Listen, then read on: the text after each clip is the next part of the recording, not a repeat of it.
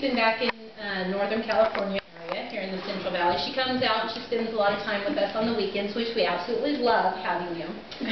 Every weekend. Yeah, and you know, one weekend I was getting going in to clean the, the guest bathroom, and um,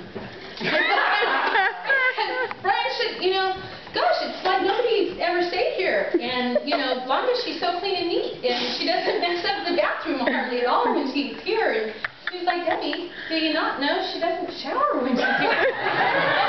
yeah, that's right. But when we just went to Nashville, I don't think you showered the whole time. No, you didn't. Once so, being the good friend that I am, I wanted to, you know, make sure that you have, you know, a little handy-dandy travel kit. So, what I have is I have some no-rinse body baths. Absolutely no rinsing required, Londa. It's for campers, military truckers, hunters. And I figured you were in the category of hunter. Okay. It's a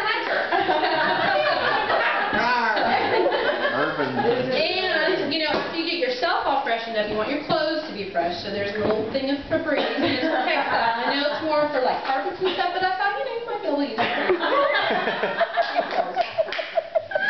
And of course, you know, I know brushing teeth is a little bit, like it takes more time. So I got you Altoids, they're curiously strong, you don't have to brush. And when you have a little more time, this is one to wash. You could do your hair, you can, for, great for washing anything, anywhere, anytime. You just need a little in your hair, and that's, and you're good to go, so.